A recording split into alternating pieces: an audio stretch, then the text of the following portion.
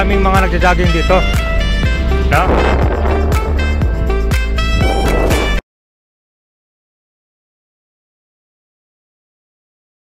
So ito kabayan, magandang hapon sa inyo lahat. Nandito tayo ngayon sa Norzagaray Road. At uh, papunta tayo dyan sa Barangay Sapang uh, Palay, no? Yan. Kasi uh, merong ginagawang uh, bagong development. Doon sa tinatawag na People's Park. Dito yan sa may uh, San Jose del Monte, Bulacan. Okay? So bago tayo darating kabayan, papakita ko muna itong construction, uh, bridge construction. Yan, kita nyo no? Nagdagdag sila ng uh, bagong tulay dyan. Kaya one lane muna itong ginagamit dito. Uh, ito yung tulay. Papunta sa may uh, river. May river kasi dyan eh. Tawag dyan San Jose River. Ayan, ito na. Kabayan ha. Matagal na nagsimula itong kwan dito eh. May bagong tulay nila. Yun eh. Yun yung dinagdagan nila.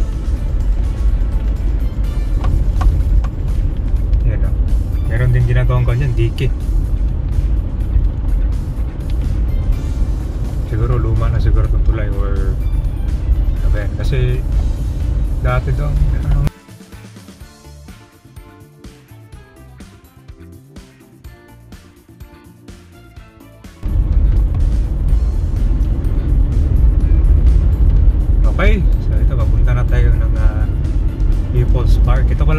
Camellia Homes.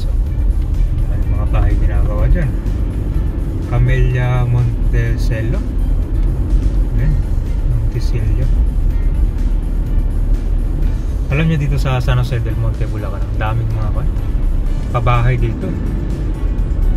Mga private at saka yung mga pabahay para sa mga uh, informal settlers dati na galing sa mga Metro Manila dito dinadala yun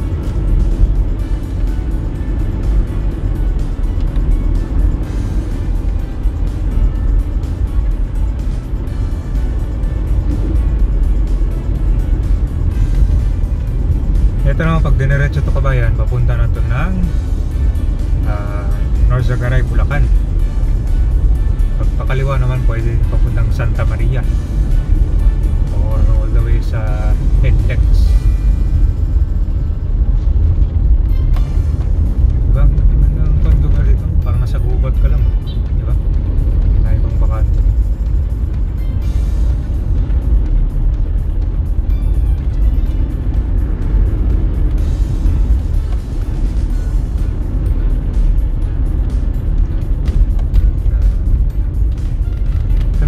to Central Evacuation Center.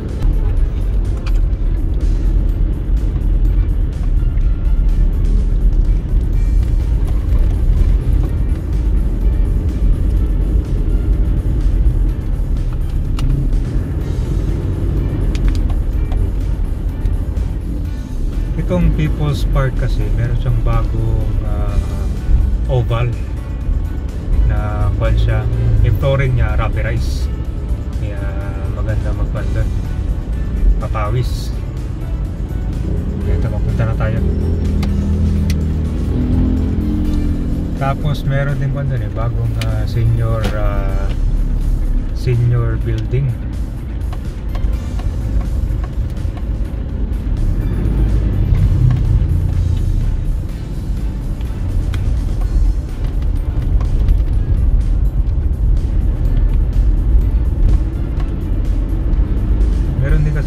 dito sa lugar sports complex. Sa area na to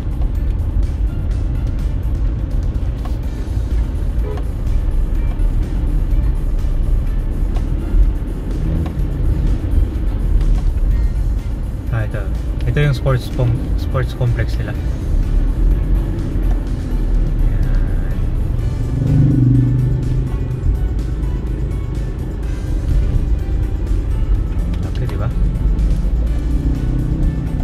ito yung San Jose del Monte People's Park.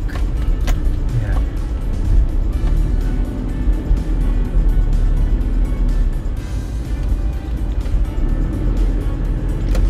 so ito na yung Concabay no? People's uh, Park. Yan na So ayun sa natanong natin dito kabayan, dati itong uh, itsura niya hindi pa ganito. Kuha lang to siya, meron lang oval dati yan tapos maraming mga nagja-jogging dito. No? So ngayon pinaganda na, ginawang rubberized itong oval. Ano?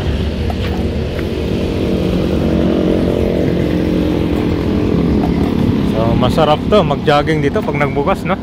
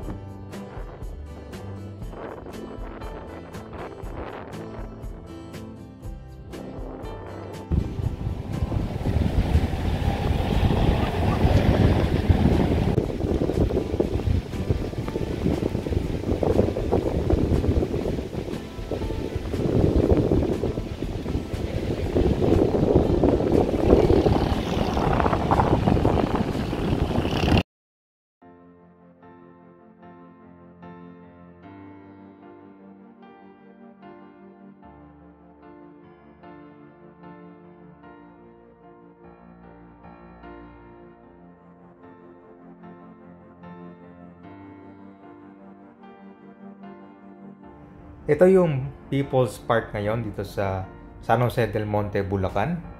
So, another high-class running track in-install dito na that meets international standards. Okay? So, good news ito lalo na sa mga taga San Jose del Monte, Bulacan.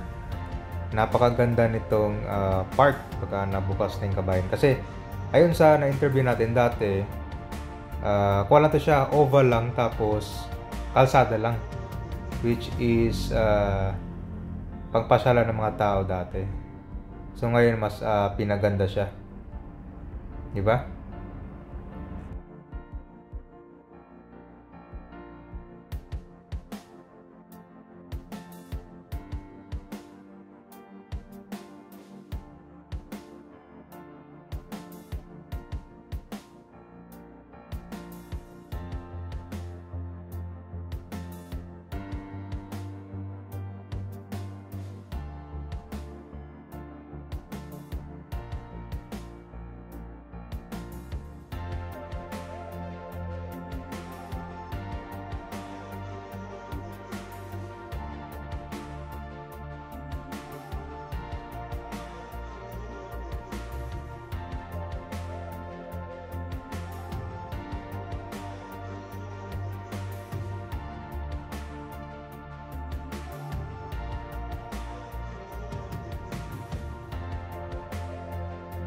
tinatawag na Rising City itong San Jose del Monte, Bulacan.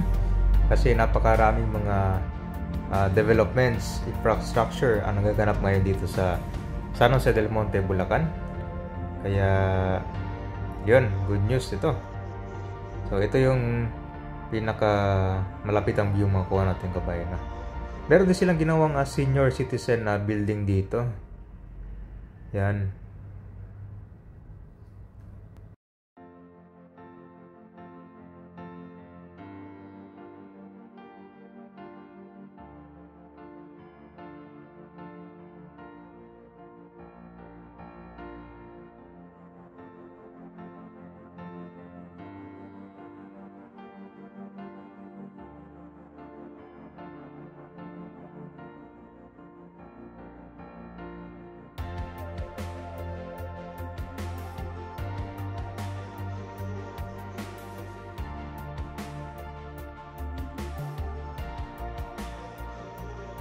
Ito yung malapit sa barangay Dulong Bayan.